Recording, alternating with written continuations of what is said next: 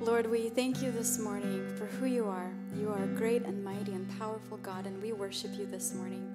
And we bring praise to you with these songs, and we open our hearts to hear you today.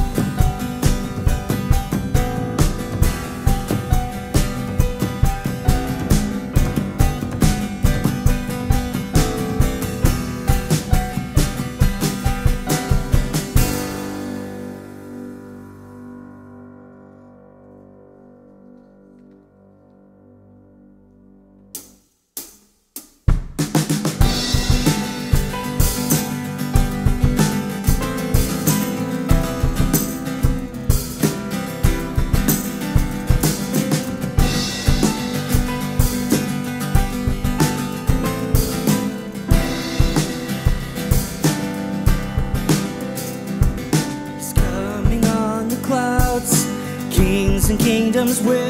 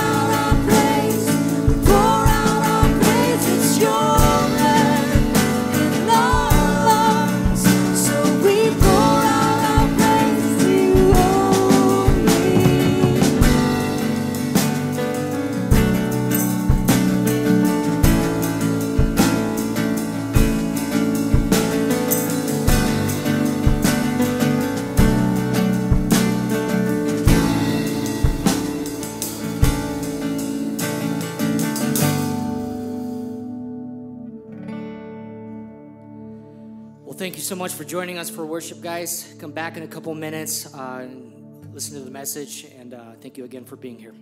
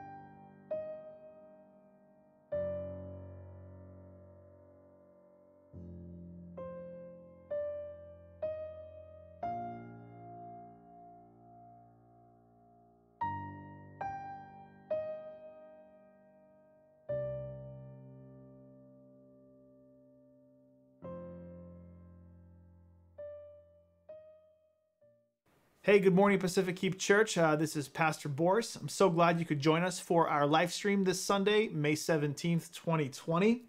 Uh, we are excited to be meeting together online, back together in the book of Galatians, talking about the grace and wisdom and the power of God. Uh, before we get going today, just a couple of quick announcements. Uh, first, we're going to go ahead and take our tithe and our offering as we always do.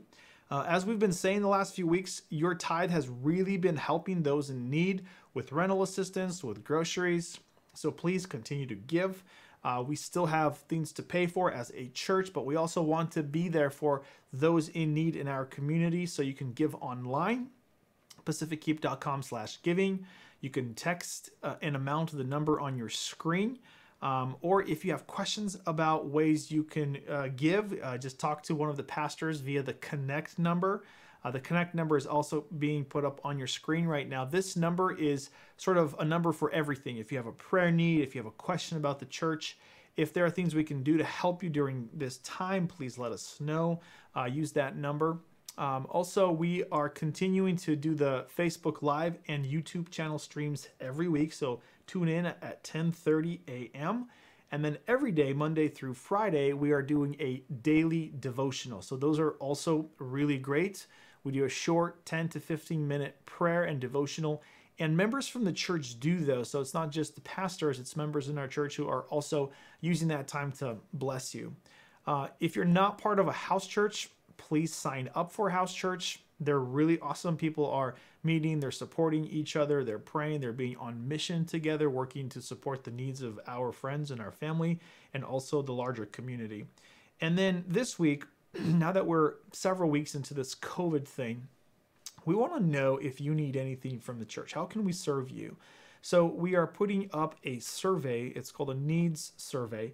If you have a prayer need, if you have a physical need, if there's any way we can bless you as a pastoral team, please fill out this short survey that will also be linked in the comments. And it's also in our newsletter this week. And we will try to reach out to you and be there for you. Um, as we get back into Galatians, uh, I want us to take a minute and think about uh, your most important relationship in your life. Let's say it's a spouse or a boyfriend or a girlfriend or somebody you've been married to for a long time. Think back on when that relationship started. How did it feel? I think for most of us, we can remember a time where we were just so happy that that person chose to be with us that we were willing to even look past some of their errors or their mistakes just to be with them, right? We fall in love, we get together, uh, we realize that in those first few stages, especially like that first year of being together or that first year of marriage, we realize that this person has a lot of options and they decided to be with you. And it's a privilege. It is a gift that you get to share life with this person. What happens though over time? Well, over time, we get a little bit complacent. We realize that not only do they choose me and it's a privilege and it's a gift, but I'm also a gift to them. Like, look at all the stuff that I do for this person. In fact, it's not so much that I need them. They kind of need me to be happy in life. And so we move away from this idea that this is a privilege that they are with me or that I am with them to this is my right. More so, not only is it my right, I've earned it. And if you allow this sort of thinking to creep into a relationship, it moves away from being this happy, um, relationship where you're together serving one another into this what I call cost benefit analysis. You sort of list in your mind, look at all of the things that I do for this person. And you know what? They're not doing an equal amount of things back to benefit me. This is not equal. This is not fair. And this devolves into a huge mess because instead of realizing that that person is with me because they love me and because it's a privilege, we think, what can they do for me? And then we say, look what I've done to earn my right to demand things in this relationships, in this relationship. Well, I think something similar can happen when we have our relationship with God. At first, we're super impressed, amazed, humbled by the fact that Jesus paid for all of our sins, that he has wiped the slate clean for us. But over time, we realize, you know what? Look at all the stuff I've been doing for God. I've been going to church, I've been going to small group, I've been doing all of the religious stuff that I'm supposed to do. I'm putting in so much, and I doubt that I'm getting an equal amount back. I've earned my right to be in this family.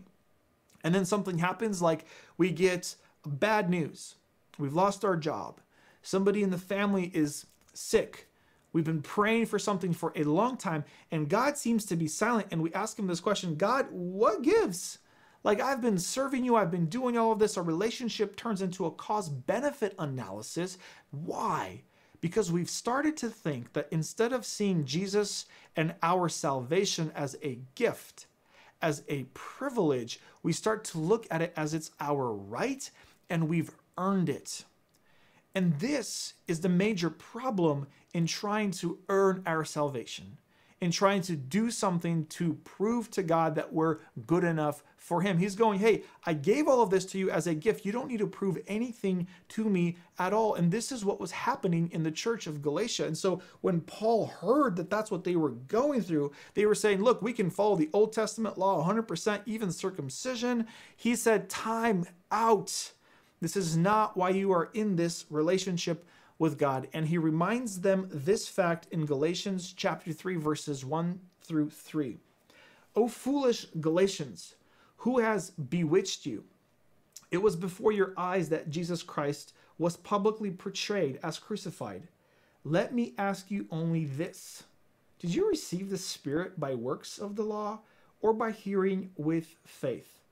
Are you so foolish? having begun by the Spirit, are you now being perfected by the flesh?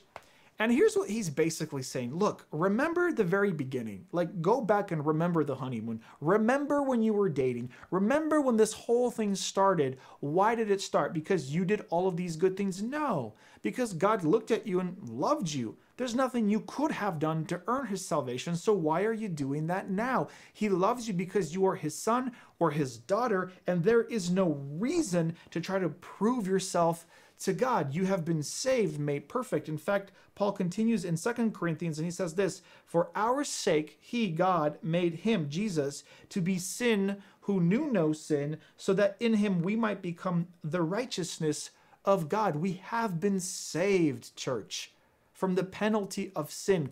Jesus already did all of that work. We need to stop trying to prove to God that we're good enough for God. Now, we can do things for God out of love for God, but not as a way to prove or to have a, a, checks and balances or a list of all the stuff that we did to prove ourselves to God. And we get into trouble because here's what happens in our relationship we come to God, we're forgiven of our sins, but then what happens? At some point we screw up again. We mess up again. We fall back into sin. We slide back into our old selves. I've done that. I've fallen back into old patterns of thinking and doing things contrary to the word of God, whether that was bad thoughts or sexuality or greed or mistreating my employees or not treating my wife and my children the right way or just being full of myself, we all slide back. And what happens in those moments? We feel ashamed. We feel ashamed. And what happens is the enemy comes to us during those times and says, Hey, listen, I want you to be uber spiritual. Guess what?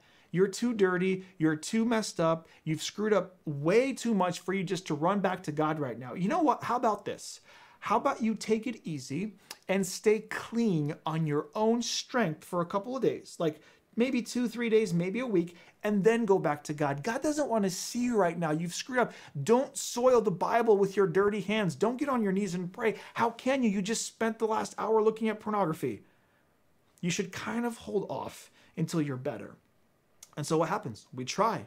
We, we take that bait. We say, I can't run to my father. I have to wait till I'm clean. And guess what happens at that moment? Although this sounds really spiritual, we stop worshiping God as God and we start saying, I am God. Me, by my own strengths and works, will earn the right to see God, to come to his altar, to approach him in prayer. And what happens? A day turns into a week, a week turns into a month, months turn into years, and years turn into decades, and sometimes we never get back on that path. Why?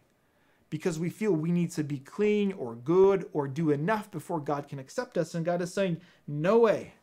I'm here for you. Your salvation has been made complete. Come to me as your father. Do not wait. Satan wants to tell us if you come to God after you fall, that's because you're sinful and it's shameful. God looks at us and says, that's the right thing to do. It is shameful to hide from me. What did Adam do after he fell in sin and God came looking for him? He hid. God wanted to have a conversation. This is why we hear these words in Proverbs 24 16. The righteous falls seven times and rises again, but the wicked stumble in times of calamity. So if you've fallen, get back up.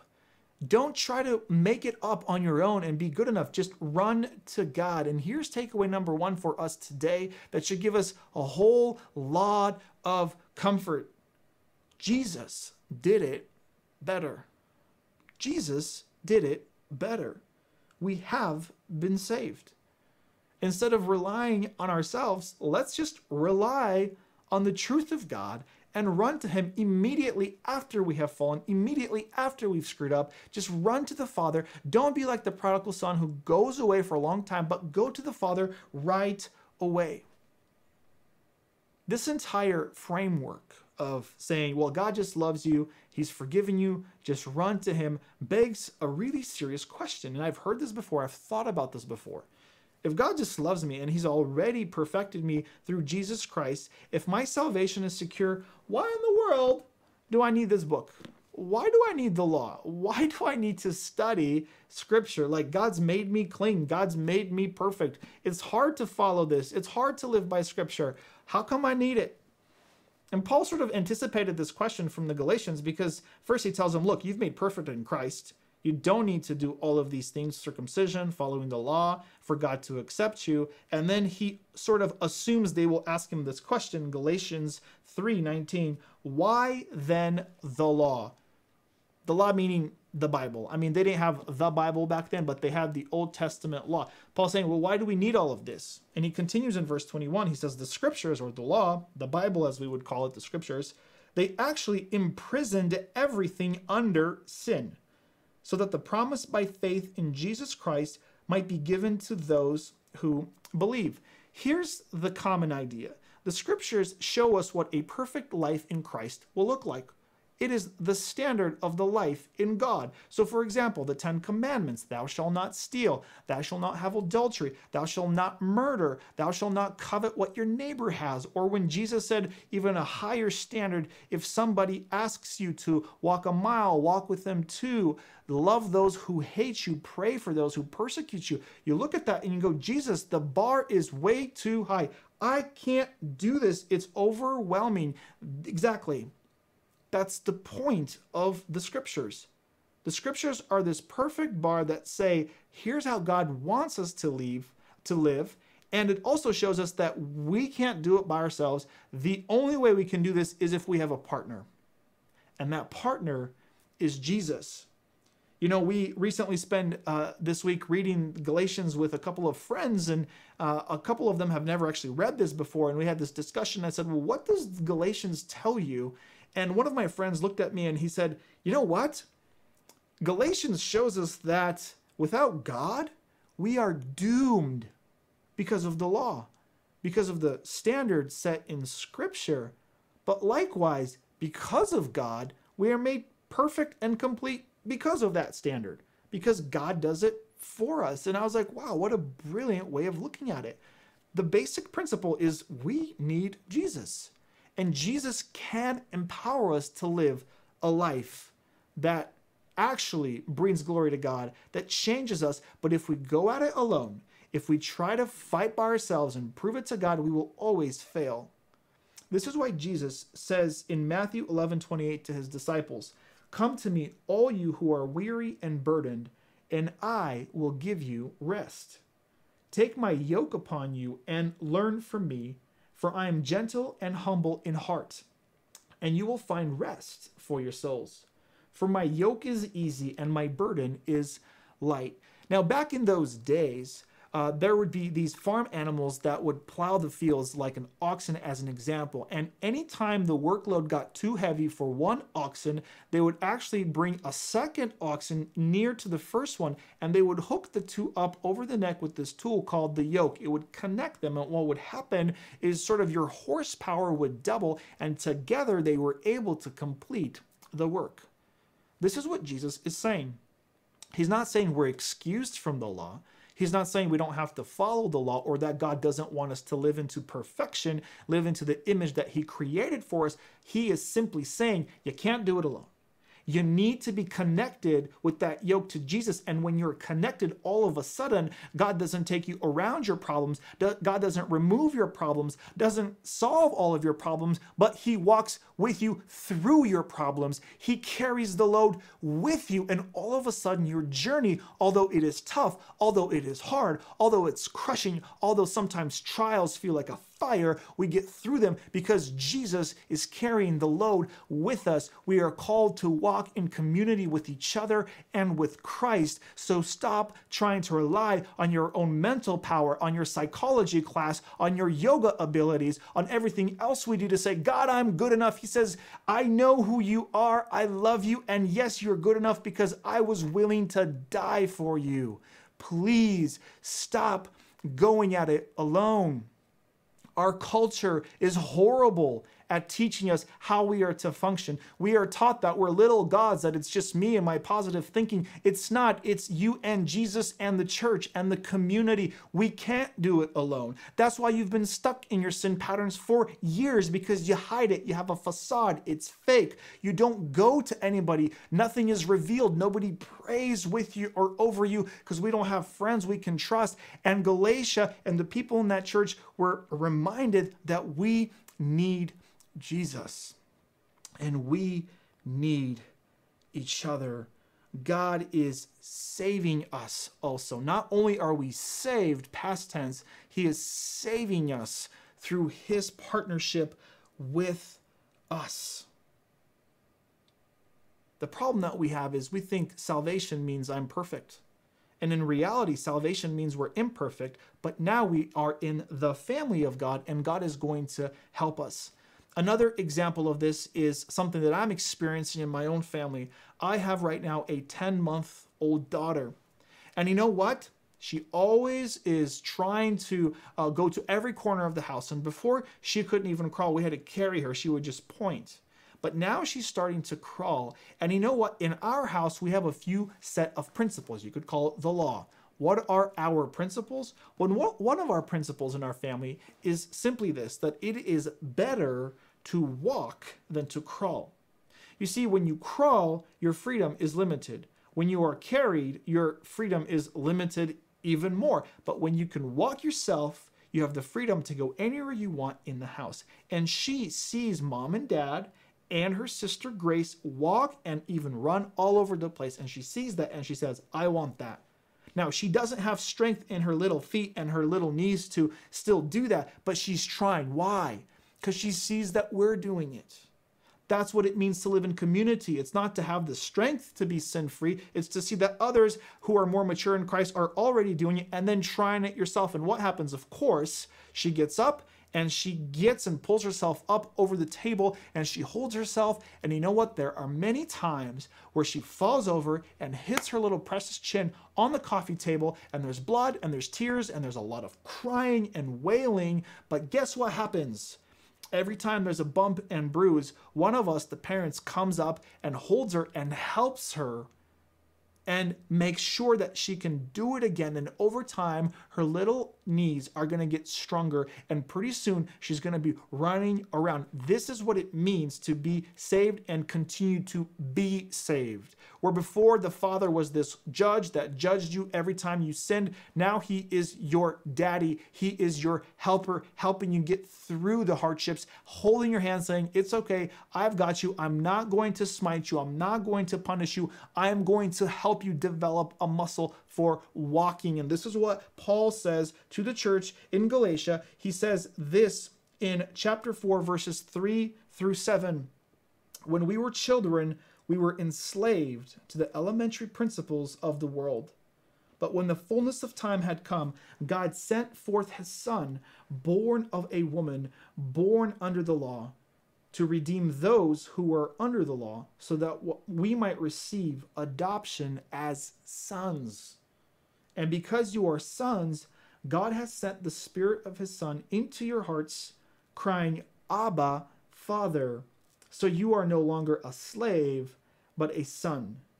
And if a son, then an heir through God. This is shocking language. You see, that word Abba in Hebrew is the most intimate word for father. It can be translated as daddy. Again, where before you were afraid of the punishment of God, now you can be not afraid of that, but you can look forward to the embrace of a father when you sin. What does that do? It gives you an environment to grow past your sin. Here's the reality it's not the judgment of God that causes us to desire new things and better things. It is the shocking grace of God in the face of our biggest failures that stun us into a new reality that we should really want the things that God want instead of wanting what we want. This is called grace on full display. It was proven on the cross. This is what God does. Next time you fall, don't run away from God. Run to your daddy, your heavenly daddy, your heavenly dad, your heavenly mom, who has all of the characteristic of a perfect parent who loves you, who will support you and surround you. This is what it means means to be saved and to continue being saved in Christ. I tried this experiment on my oldest daughter recently. She was misbehaving. She wasn't listening to my wife, her mother. And when she misbehaves and throws tantrums, most of the time we have time out for her. And so she was throwing a tantrum, and I called her over and I said, Grace, come here. All right, what are you doing? And you could tell she knew it. She knew she was going to get time out.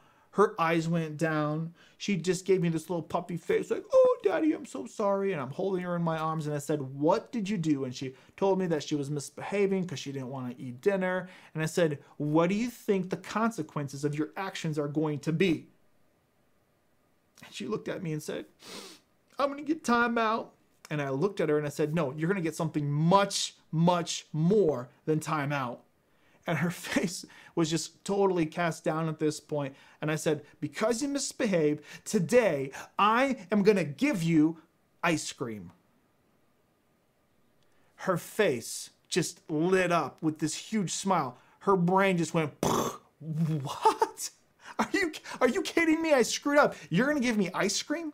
And I said, Yeah, come over here. Come over here to the freezer. So I took her over to the freezer and I gave her a popsicle. And she unwrapped it and she started sucking on the popsicle.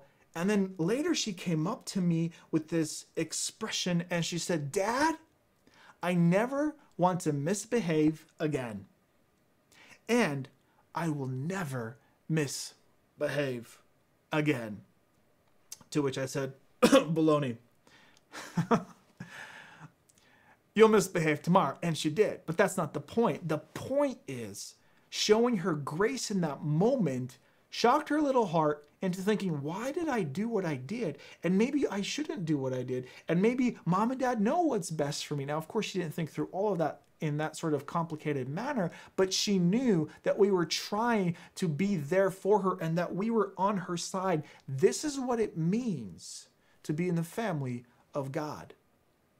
Arthur Pink, a theologian, he actually describes salvation in a threefold manner. He said that we have been saved from the penalty of sin, past tense, but because God is now Father, Daddy, Dad, we are being saved in the present from the influence of sin. And most commonly, God does that through grace. He also does it through discipline. But the beautiful thing about being part of God's family is He's always on our side. And then in the future, God will fully save us from all of the power of sin when the new heaven and the new earth come down. And between now and then, we're not perfect, but we are made into the image of God, as the scriptures say, from glory to glory to glory. Just lean into God. Don't run away from God. Just don't hide from God. Seek God's face.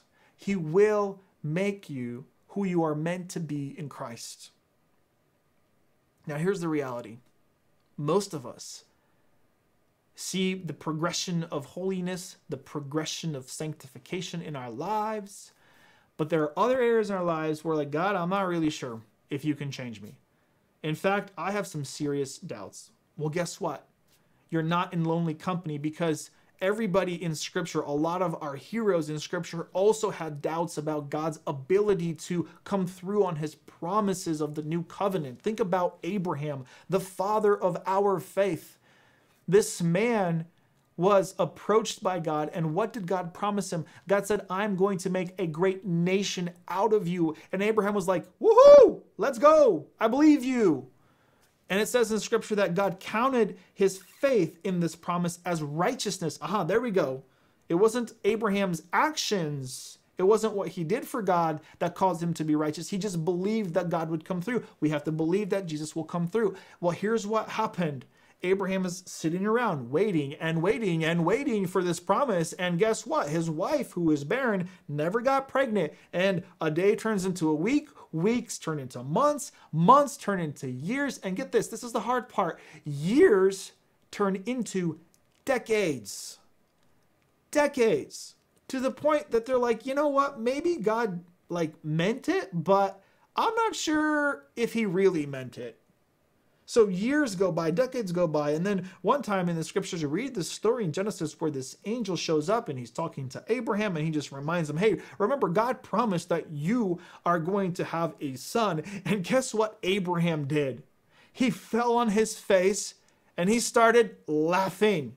It's the I M A O. I'm laughing my butt off. Are you kidding me? Genesis 17, Genesis 17, 17. Abraham fell on his face and laughed. and he said to himself, Shall a child be born to a man who is a hundred years old? Shall Sarah, who is 90 years old, bear a child? Have you ever had a reaction like that to the promises of God? You're just laughing your butt off? Are you kidding me, God? Don't you know how long I've been addicted to this thing? Don't you know how long I've been struggling with this? Don't you know how long I've had anxiety and depression and self doubt? Don't you know how long I don't even value my own worth? I don't think I can ever change. I don't think I'm actually giving up. I'm supposed to have freedom in Jesus, but it doesn't feel like I'm free because I'm still struggling. I'm tired of the process. So, what did Abraham and his wife Sarah decide to do? They decided to help God. Sarah and Abraham were sitting around and said, "You know what? God wanted us for for us to have a son or a child, and there is just no result. You know what, Abraham? I I think what God meant is if you just take my servant Hagar and just sleep with her, maybe through her uh, we can have a child. Let's let's help God out." and so they did they did that, and of course, uh, a baby boy was born, Ishmael. But then later, God came through on his promise, and Isaac was born. And what happened? There was a conflict between the promise of God and between the works of Abraham. You see, every time we try to help God by our own works to be perfect or to prove to Him that we love Him or that we're good enough, we actually create conflict in our lives.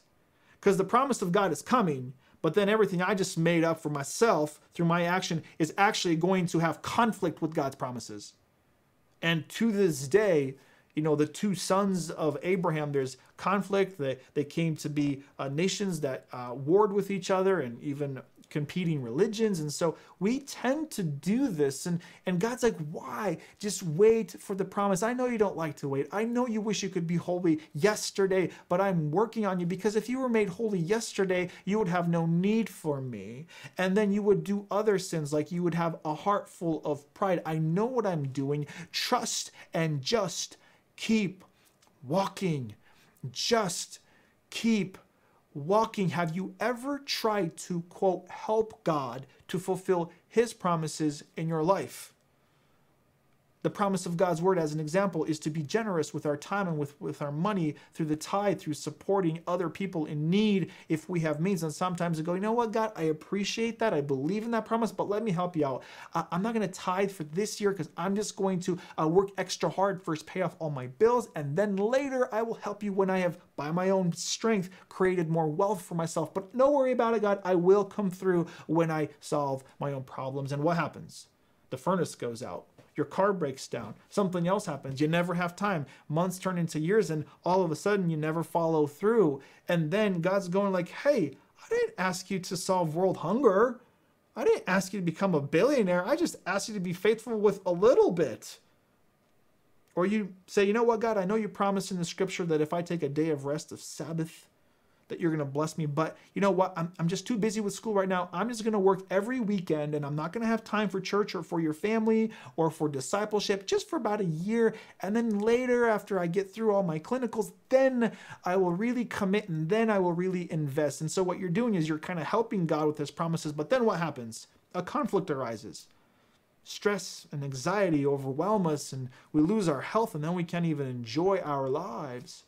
Or the worst one is when we say, you know what, God, I'm just to, through my own effort, stop sinning. I'm to stop doing the big things. And for a time, you might be even successful. Like, I've stopped looking at pornography. I have no sexual thoughts. I don't look at people with lust. I'm following the commandments of giving my time and my money. I'm fairly humble. Man, look, I've been able to accomplish these beautiful things over here. And guess what? As you're actually successful in some areas, because let's be fair, we can be successful on our own effort in some areas, but as we're being successful without the help of God, what's happening? Over here, without our knowledge, we don't see that the monster of pride is growing and growing and growing and we start to judge people and say, How could they? They've been in the church for 20 years and look how much better I am than they are. And man, I can't believe it. And all of a sudden, we've committed the same sin that Satan committed when he was Lucifer, an angel, because he wanted to be like God and he had pride. This is very tricky stuff.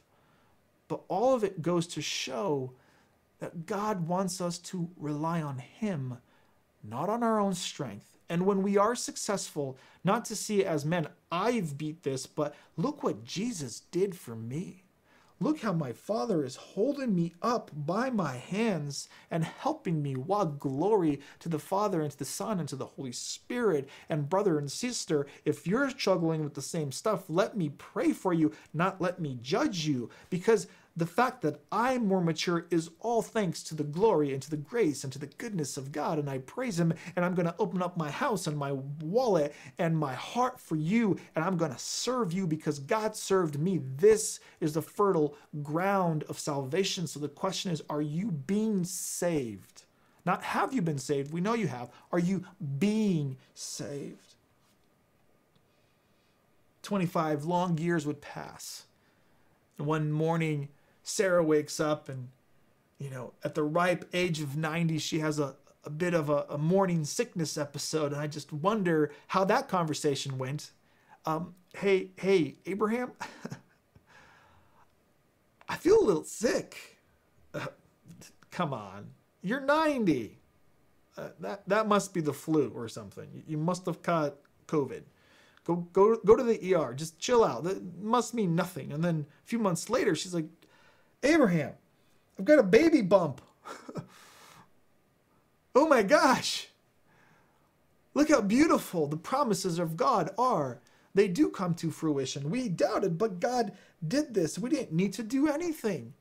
God gave it to us completely because God is good. And this is what Paul is saying to the Galatians. And he concludes chapter 4 in this book by basically saying of this example of Abraham and Sarah and Hagar and the solution that Abraham and Sarah try to do to, quote, help God. He says this is an analogy for us. And he says, if you have your own, quote, solutions to be holy, cast them out. Get rid of them. Get rid of all of the excuses. Get rid of all of your efforts and instead come to God and say, Lord, I need you. You have made me perfect. You are making me perfect, and you will make me perfect when that day comes, when the new heaven and the new earth are here. And so I glorify you and I give you praise. You have been saved, you are being saved, and you will be saved because of what Jesus did. So, church, let me encourage you today if you felt down because of your sin or because of your mess up, if you've struggled with anxiety or depression, if you don't have all of your stuff together, you're in good company because it's not dependent on our strength. It is all dependent on the strength of God. And in your darkest moment, when you're feeling like you don't have what it takes and the enemy comes and attacks you, sing the Psalms of Psalm 121 I lift my head to the heavens. Where does my help come from? My help comes from the Lord, the maker of heaven and earth. And then repeat the words of Paul from Philippians chapter 1, where he says that I have faith, and I'm paraphrasing here, that he, God, who started a good work in you, will bring it to completion on the day of our Lord Jesus Christ. You are family, you are loved, and God isn't done with you yet. And for that, we praise Him. And for that, we glorify Him. Takeaway three is this God needs our trust more than our help. So trust Him, walk with Him, make room to seek His face this week. Let's pray. Father, thank you for your gift of relationship with us. Thank you for your son, Jesus. Thank you for not just saving us, but continuing to work on our hearts in our lives to make us more like your son. And thank you for the salvation that we will get when we're fully freed from the power of darkness and the power of sin. I pray over our entire church community and family today that you bless this week, that you, through the Holy Spirit, reveal to us the dark crevices of our hearts and you illuminate them with the power of the Holy Spirit and you change us into grateful people, humble people who don't try to make it, but just run to you as you are our Father, our Dad, our Daddy. We glorify your name. We pray for your presence and your continual work in our lives. And we ask all of this in the name of the Father, the Son, and the Holy Spirit. Amen. Hey, thank you guys so much for tuning in, for being with us. Um, looking forward to seeing you next week and uh, looking forward to seeing some of you at House Church. So have a wonderful rest of your day and rest of your week.